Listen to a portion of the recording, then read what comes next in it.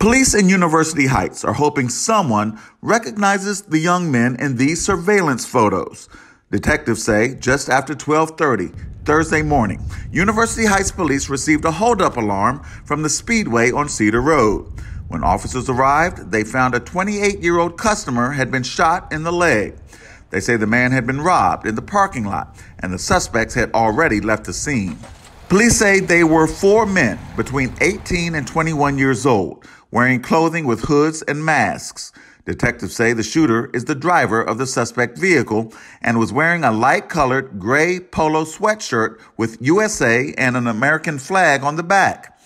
They believe the front right passenger is the young man wearing the sweatshirt with black on the upper part of his sweatshirt and gray on the lower part.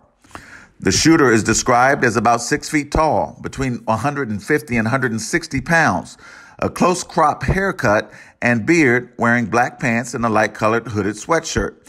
Police believe the suspects were driving a dark blue Honda Civic and drove away westbound on Cedar Road.